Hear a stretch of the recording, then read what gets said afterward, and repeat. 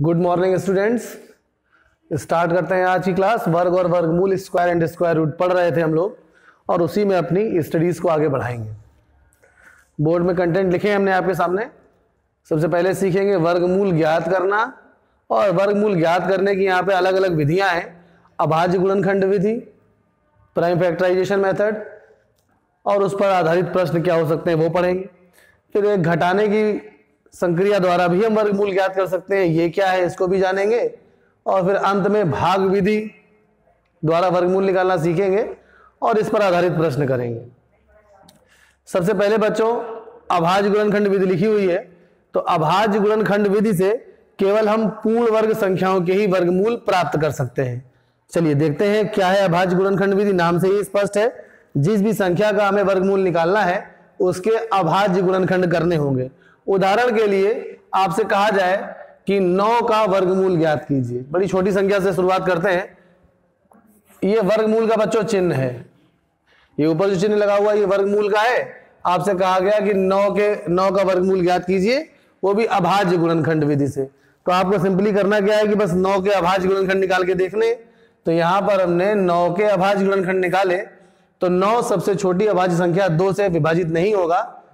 अगली दो के बाद अभाज्य संख्या तीन है, जिससे नौ विभाजित हो जाएगा। तो तीन से विभाजित किया थ्री थ्री जा नाइन फिर तीन से विभाजित किया थ्री वन जा थ्री तो अर्थात नौ के जो अभाज्य गुणनखंड है, वो क्या है? तीन गुणे तीन आए। और जो भी अभाज्य गुणनखंड आए हैं, और जो उनके जोड़े हैं बच्चों, उन जोड़ों में से एक संख्या हम बाहर निकाल के लिख देते हैं। यहाँ पर अब केवल तीन का ही एक जोड़ा बन रहा है। तो उत्तर हो जाएगा तीन। बड़ी छोटी संख्या थी, आप ओरली भी इसको जानते थे कि नौ का जो वर्गमूल है वो तीन ही होगा।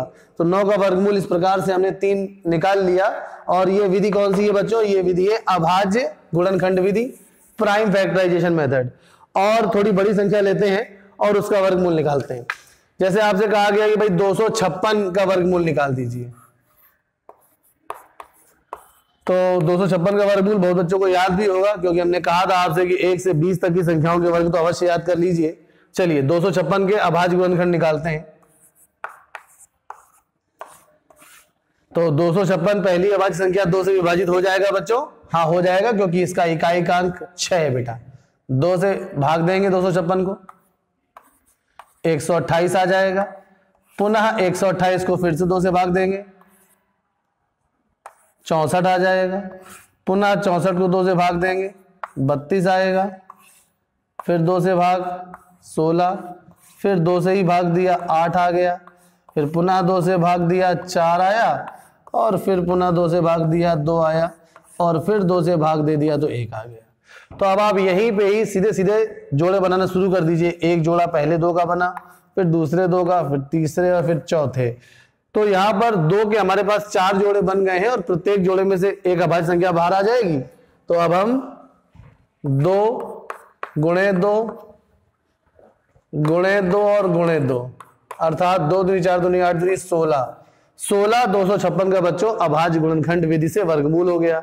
इसी प्रकार से आपको ग्रह कार्य में हम दे दे रहे हैं, तीन सौ चौबीस, तीन सौ चौबीस का आप वर्गमूल निकालिएगा अभाज्य गुणनखंड विधि से। या चलिए अच्छा हम ही निकाल देते हैं जल्दी से।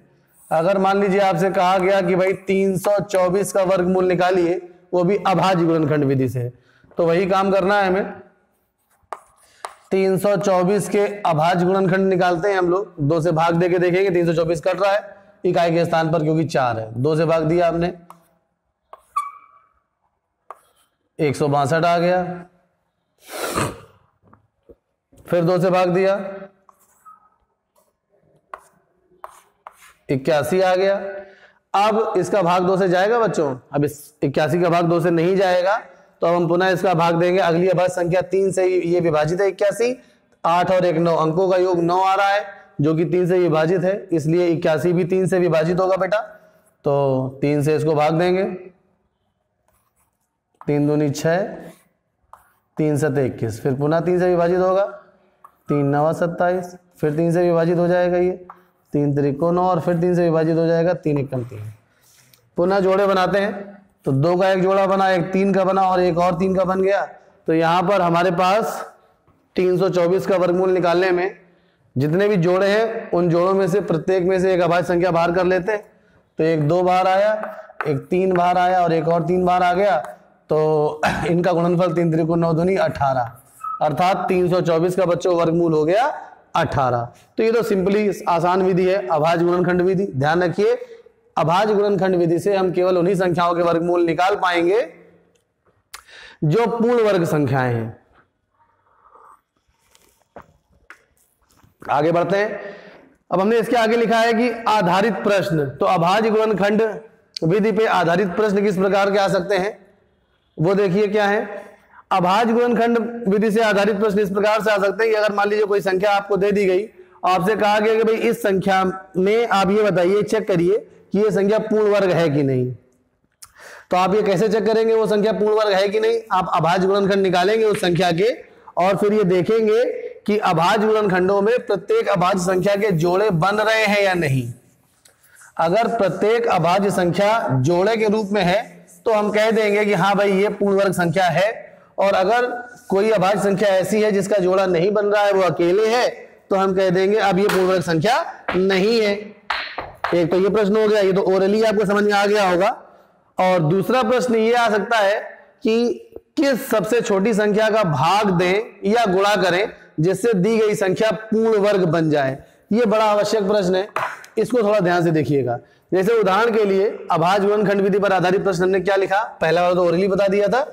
दूसरा मान लीजिए हमने आपसे कहा कि ये बताइए कि 9408 में किस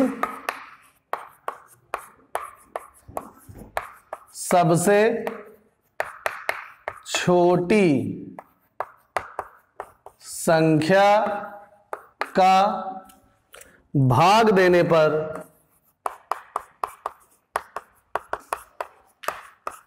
यह पूर्ण वर्ग बन जाएगी तथा भागफल का वर्गमूल भी ज्ञात करें। ये प्रश्न आपके सामने आया पढ़िए ध्यान से इसको। कह रहा है कि भाई ये बताइए कि 9408 में किस सबसे छोटी संख्या का भाग दे दे? जिससे यह पूर्ण वर्ग बन जाए। और फिर भागफल का वर्गमूल भी ज्ञात करें। तो बस हमें क्या करना होगा? इसके अभाज्य गुणनखंड निकालने होंगे।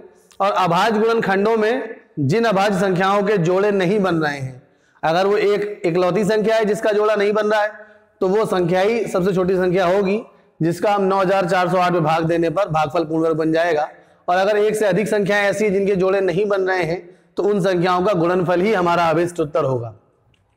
तो करते हैं जल्दी से। 9408 के अभाज गुणनखंड निकालते हैं बेटा। नाइन फोर ज़ीरो एट के हम प्राइम फैक्टर्स अर्थात अभाज्य गुणनखंड निकाल रहे हैं। तो सबसे पहले दो से भाग देंगे इसका।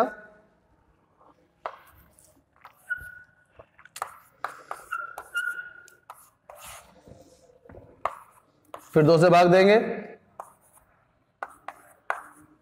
फिर दो से भाग देंगे।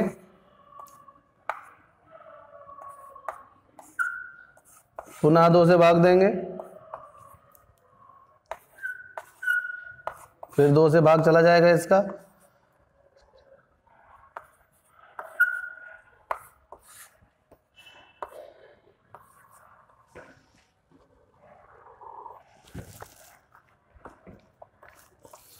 अब देखिए, एक आया। अब ये दो से विभाजित नहीं होगा, तीन से चेक करते हैं, अंकों का जोड़ निकालते हैं।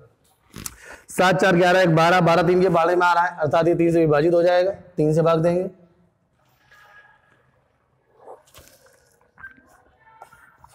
अब ये उनचास, तीन से विभाजित नहीं होगा। अब ये किससे विभाजित होगा बेटा? सात से। सात से भाग देंगे। चलिए जोड़े बनाना की शुरुआत करते हैं। पहला जोड़ा बन गया दो का, एक दो दो का जोड़ा और बन गया, एक दो का जोड़ा और बन गया और एक सात का भी जोड़ा बन गया। यहाँ पे आप देखेंगे जो तीन है, वो एक इकलौती अभाज्य संख्या बच गई। अगर ये तीन, एक और तीन होता तो ये पूर्णवर्ग संख्या बन जाती। या ये तीन ना होता तो भी ये पूर्णवर्ग संख्या बन जाती। तो बस अब हमें हमें करना क्या है कि किस छोटी संख्या का भाग दें। भाग देने पर यह पूर्ण वर्ग बन जाएगी। तो अगर हम इस 9408 में तीन का भाग दे दें तो ये पूर्ण संख्या बन जाएगी, क्योंकि जब हम इसमें तीन का भाग देंगे और इसके अभाज्य गुणनखंड निकालेंगे तो उसमें तीन आएगा ही नहीं। तो यहाँ पर हम लिखेंगे आंसर स्टेटमेंट, भाग दी जाने वाली सबसे छोटी संख्या, बराबर। क्या हो जाएगी? बेटा तीन। और दूसरा भाग और एक और इस प्रश्न में कह रहा है कि जो भागफल आएगा उसका वर्गमूल भी ज्ञात कर दीजिए। फिर इसके बाद लिखेंगे भागफल का वर्गमूल। भागफल का वर्गमूल बेटा क्या होगा? यहाँ पर अब जब तीन रहेगा ही नहीं तो पहले दो के जोड़े से दो बाहर आ जाएगा। अगले जोड़े से दो एक और बाहर आ जाएगा। अगले जोड़े से एक और दो बाहर आ गया। और फिर अंत में सात बाहर आ जाएगा। तो दो दुनी चार दुनी आठ सत्य छप्पन। तो भागफल का वर्गमूल बेटा क्या हो जाएगा? छप्पन। अब देखिए जरा, इसी में दूसरा भाग प्रश्न का आता है कि जैसे मान लीजिए यही सेम प्रश्न होता कि 9408 में किस छोटी संख्या का जहाँ भाग देना लिखा है, वहाँ लिखा होता बस गुणा करने पर। किस सबसे छोटी संख्या का गुणा करने पर यह पूर्ण वर्ग बन जाएगी। तो बस हमें पूरा काम यही प्रोसीजर बिल्कुल यही था कि हम क्या करते हैं 9408 का वर्गमूल निकालते हैं, जो हम निकाल चुके हैं। फिर जोड़े बनाते अब देखते हैं किस संख्या का जोड़ा नहीं बन रहा है बेटा, तीन का नहीं बन रहा है। तो अगर एक तीन और यहाँ पे होता तो उसका भी जोड़ा बन जाता, और फिर ये संख्या जो भी होती हमारे सामने, वो पूर्ण वर्ग होती। तो अब हम यहाँ पे आंसर स्टेटमेंट क्या लिखेंगे? बस बिल्कुल सेम तीन, कि तीन आंसर स्टेटमेंट थोड़ा बदल के लिख देते हैं। तीन का गुणा करने पर 9408 पूर्ण वर्ग बन जाएगी। अगर हम 9408 में तीन का गुणा कर दें तो ये पूर्ण वर्ग बन जाएगी। अब दूसरा भाग जो है, उसको थोड़ा ध्यान से करना है। अब कहता तथा साथ ही भागफल की जगह, अब कहता कि भाई गुणनफल का वर्गमूल क्या होगा? काफ़ी बच्चे समझ रहे होंगे कि अब गुणनफल का वर्गमूल क्या होगा? तो गुणनफल का वर्गमूल अर्थात जब हम इसमें तीन का गुणा करेंगे बेटा तो एक तीन तो और आ जाएगा ना? तो बस हमें करना क्या है कि अब अपने जोड़ों में तीन को भी शामिल कर लेना है। तो गुणनफल का वर्गमूल, गुणनफल का वर्गमूल बेटा क्या हो जाएगा? दो दो दो, तीन जोड़ों से ये दो बाहर आ गया। दो गुणे दो गुणे दो। और जब हम तीन का गुणा कर चुके होंगे तो एक तीन भी तो और बेटा एक्स्ट्रा आ जाएगा। तो ये तीन भी रहेगा और साथ में जो सात था, वो तो रहेगा ही रहेगा। तो अब हम इन सब का गुणा कर लेंगे तो छप्पन में बस तीन गुणा कर लेते हैं। तीन छंग अठारह किया अठासी लगे एक, तीन बजे पंद्रह और एक सोलह। एक सौ अड़सठ गुणनफल का बेटा वर्गमूल हो गया।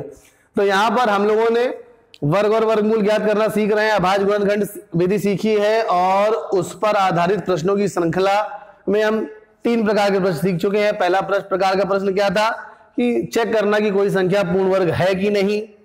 जैसे यही मान लीजिए आता चेक करने के लिए कि जाँच कीजिए 9408 पूर्ण वर्ग है कि नहीं, इतना ही प्रश्न होता। तो आप 9408 का अभाज गुणनखंड निकालते और जोड़े बनाते, अब देखा आपने कि तीन का जोड़ा पूरा पूरा नहीं बन रहा है, एक और तीन नहीं है तो हम लिख देंगे कि 9408 पूर्ण वर्ग नहीं है। अगर सभी संख्याओं के जोड़े बन जाते तो लिख देते ये पूर्ण वर्ग है। दो प्रश्न और हमने बहुत आवश्यक बताए, जो बोर्ड में आपके सामने लिखे हुए हैं कि सबसे छोटी संख्या का भाग देने या गुणा करने पर पूर्ण वर्ग बन जाएगी दी गई संख्या, और फिर भागफल या गुणनफल का वर्गमूल भी निकालिए। इसके बाद एक प्रश्न और, एक दो प्रकार के और प्रश्न हैं, जो इस विधि पर आधारित है, उसको बच्चों हम लोग अगले वीडियो में कवर करेंगे. Thank you